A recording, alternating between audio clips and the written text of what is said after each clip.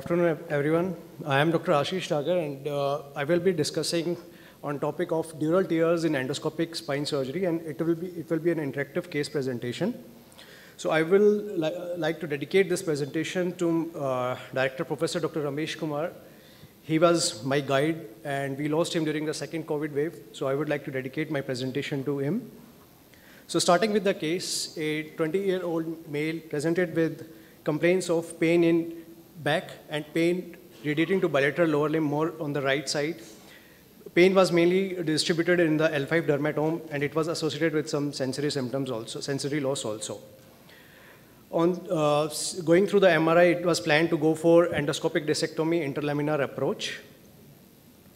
So here I, I would like to pose a question. What are the what are the preoperative risk factors that you consider when you are going for this uh, uh, endoscopic surgeries? What are the risk factors do you consider in preoperative phase, either uh, in the patient profile or during the, in the investigations, in which you think there are, when you are doing, uh, going for surgery, there are increased chances of dural tear? So I would like uh, anyone from the audience can comment on this or from Ashish, the... can we move on to the case? I mean, I'm sure Yes. there will be a lot of interesting discussion over that. So, so uh, your case which had a dural tear. Yeah. Uh, so there are preoperative risk factors mainly are the older age, female gender, comorbidity, degenerative li- listhesis, revision surgeries, facetal uh, cyst, calcified lesions, and epidural injections. So during surgery, uh, everything was going fine until a leash of epidural blood vessels I encou- encountered, and uh, there was yes. and uh, the whole surgical field was filled with, filled with blood. And when the dust has settled, I was left with a dural tear, which you can see on the video in the right side. So uh, what, are the, what are the main culprits when you, uh, we are going for such type of situations? So the main culprit is blood visual field, mainly from epidural bleeding or from the cancellous bone.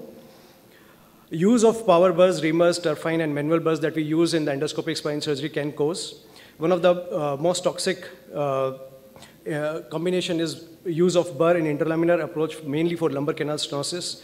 Curettes can also cause then cyst. In uh, most of the studies, in some of the studies, the incidence can be as high as 37.5%.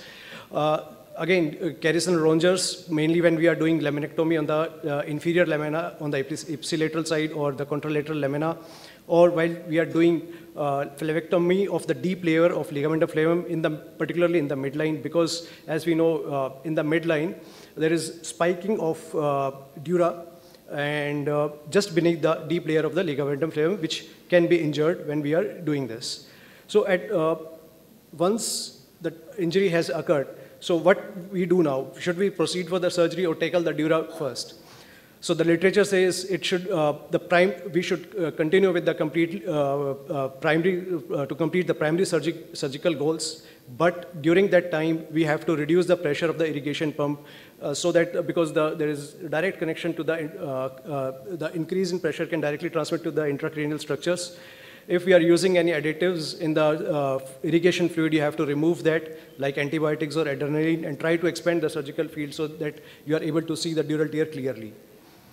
So, uh, uh, because we are using uh, minimal invasive endoscopic spine surgeries, it is said uh, that sometimes we can leave the, leave the uh, dural tear alone.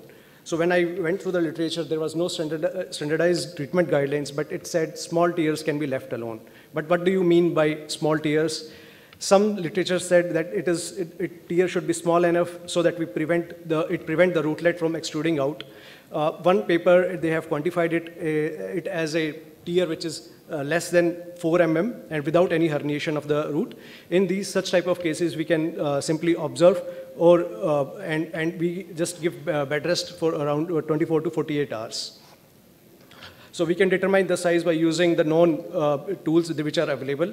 So if the, the tear is more than 4 mm, the, what are the options which are available to us? So there are muscle uh, or fascia grafts that we can take. There are uh, fibrin glue, fibrin-based glue, which are I, I don't think which are much effective in uh, endoscopic surgeries because of the flow of the fluid.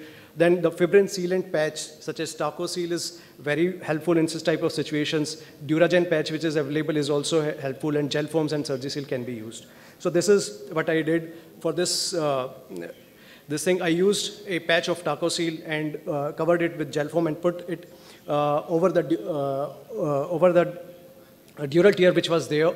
TachoSil, it is a fibrin-based hemostatic agent which is mainly used by our liver transplant surgeons. Uh, it, it, it, is, it has quite sticky ends, it can, and it sticks even in the uh, fluid medium.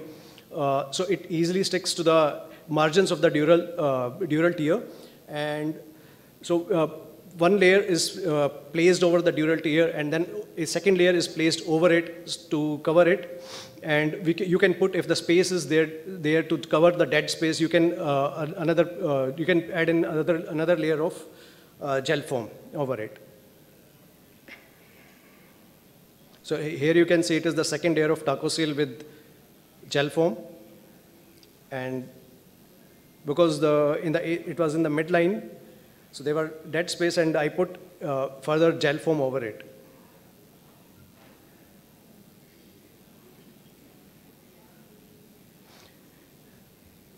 We can use uh, uh, ball tape hook probes to manipulate the TachoSil and place it on the uh, edge and edge of the dural tear.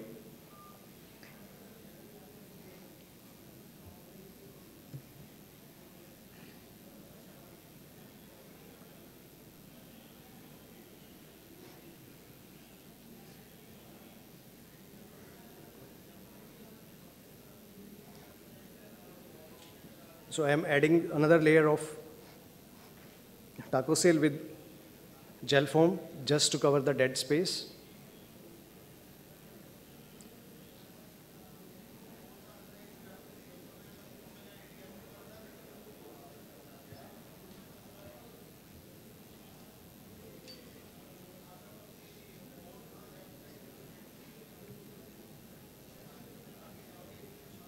And this is the last, last bit of the gel foam that I have placed there. Uh, so uh, if the gel TachoSil is not available, paraspinal uh, muscle or fascia, we can take it and cut it into the pieces, piece of uh, size uh, of the dural tear, and we can use fibrin sealant glue. Uh, then the closure is closure. It should be a continuous clo- closure of, with. And I usually do not, do not prefer drain if there is dural tear. If the tear is more than one centimeter of, or if there is a flap of the dura, uh, then the only option which is left is uh, we have to repair it. We can either go for uh, convert the surgery to open, or there are some suture techniques which I, I could find in uh, in literature. It can be done using uh, uniportal or biportal also, or best is to go for uh, to convert it into open surgery. So uh, Shin et al. describe a suture technique which can be done using uniportal scopy also, but I have no experience in this. Uh, biportal uh, endoscopy provides much more freedom in repairing this because of the triangulation, there, uh, triangulation and uh, freedom of uh, movement of the hands. Uh, but, uh, some of the literature they have uh, shown that during biportal surgery we can use non-penetrating vascular clips which are available and these can be used. Uh, to summarize, if there is intraoperative dural tear, if it is less than 4 mm, we can just observe. If it is between 4 to 1 centimeter, we can use fibrin sealant pinch technique that we, I just shows. If the tear is more than 1 centimeter, uh, you can uh, uh, either convert it to open surgery or you can use one of the techniques which is, which is available to, for suturing, but suturing is of that, such type of tears is must. So that's all from my side.